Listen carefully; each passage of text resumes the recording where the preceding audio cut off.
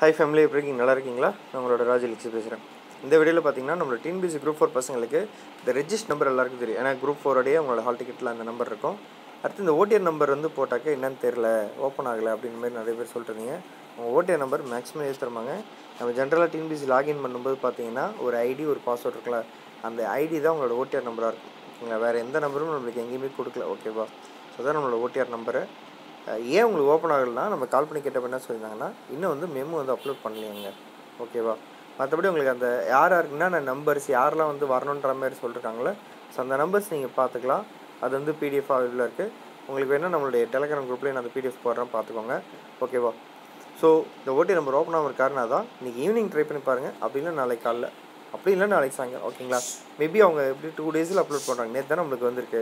So two three டேஸில் அவங்க upload பண்ணிட்டாங்கன்னா நம்மளுக்கு ஓப்பன் ஆகிடும். ஓகேவா அப்படியே உங்களுக்கு இன்கேஸ் டவுட் இருக்குது ஓடிஆர் நம்பரில் டவுட்னா நீங்கள் அவங்களோட டோல் ஃப்ரீ நம்பர் கால் பண்ணி அவங்க இன்கேஸ் மெமோ அப்லோட் பண்ணலன்னு சொன்னாங்களா? இல்லை எதுக்கும் இந்த ஓடிஆர் நம்பர்னால் என்ன அப்படின்றது அப்படின்றத நீங்கள் கேட்டு கன்ஃபார்ம் பண்ணிக்கலாம். சரிங்களா?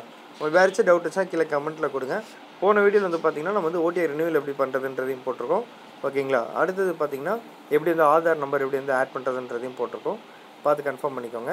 எப்படி ப்ராசஸ்ன்ட்டு ஓகேவா? எப்படி ஒரு ஆன்சர் ஷீட்டை டவுன்லோட் பண்ணுறது அஃபிஷியலாக அப்படின்றதையும் போட்டிருக்கோம். ஓகேங்களா? Bye family take all the best